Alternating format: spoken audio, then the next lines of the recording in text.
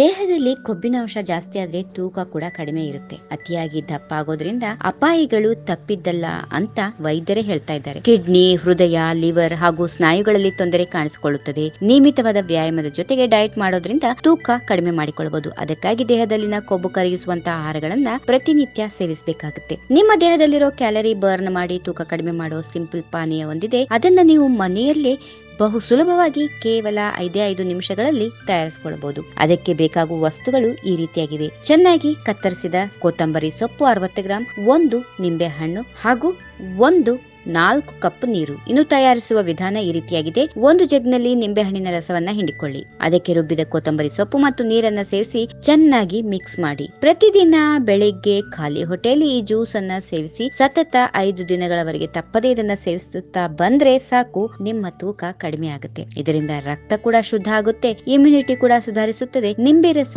ಅಧಿಕ ರಕ್ತದ ಒತ್ತಡವನ್ನ ನಿಯಂತ್ರಣ ಮಾಡುತ್ತದೆ. ವಾಕರಿಕೆ ಮತ್ತು ತಲೆ ತಿರುಗುವಿಕೆಯನ್ನ ಕಡಿಮೆ ಮಾಡುತ್ತೆ. ನಿಮ್ಮ ಚರ್ಮದ ಕಾಂತಿಯನ್ನ ಕೂಡ ಇದು ಹೆಚ್ಚಿಸುತ್ತದೆ. ಹೀಗೆ ಮನೆಯಲ್ಲಿ ಅತಿ ಸುಲಭವಾಗಿ ತಯಾರಿಸಿಕೊಳ್ಳುವ ಈ ಪಾನೀಯ ಸೇವನೆ ಮಾಡೋದ್ರಿಂದ ಅಧಿಕ ತೂಕವನ್ನ ಬಹು ಸುಲಭವಾಗಿ, ಸರಳವಾಗಿ ಚಿಟಿಕೆ ಹೊಡೆಯೋದ್ರಲ್ಲಿ ಮಾಡಿಕೊಳ್ಬಹುದು ಏನಂತೀರಾ? ಈ ವಿಡಿಯೋ ನಿಮಗೆ ಇಷ್ಟವಾದಲ್ಲಿ ತಪ್ಪದೇ ಲೈಕ್ ಮಾಡಿ, ನಿಮ್ಮ ಸ್ನೇಹಿತರಿಗೆ ಶೇರ್ ಮಾಡಿ, ನಿಮ್ಮ ಅಭಿಪ್ರಾಯವನ್ನ ಕಾಮೆಂಟ್ ಬಾಕ್ಸ್ ಅಲ್ಲಿ ತಿಳಿಸಿ.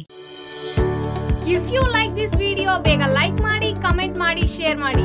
ಹಾಗೂ ಅಲೋ ಟಿವಿ ಕನ್ನಡವನ್ನ ಸಬ್ಸ್ಕ್ರೈಬ್